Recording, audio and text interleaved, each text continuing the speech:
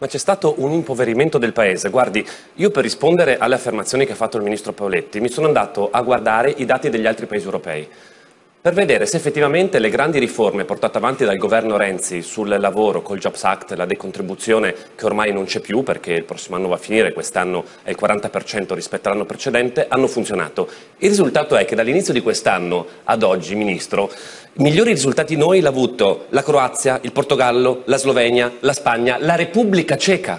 Allora, e non penso che là ci fosse stato il Jobs Act renziano. La verità è che quel poco di miglioramento sulla disoccupazione, che è impercettibile, basta girare per le strade, nelle nostre città, è, è, dovuto a, a, delle scelte esterne, dalle scelte della BCE alle, alla diminuzione del, eh, del, dollaro, alla diminuzione del costo eh, del petrolio. Anzi, le misure messe in campo in Italia sono state assolutamente hanno, hanno bloccato la ripresa. No, mi scusi, e voglio solo dire, e voi pensate che in quell'11.4% di disoccupazione che oggi monitora l'Istat, per cui per cui per cui per cui scusi, per cui per cui l'Istat, per cui il governo festeggia ogni, grandi risultati, c'è un 2% che sono dei voucher che prendono 28 euro al mese.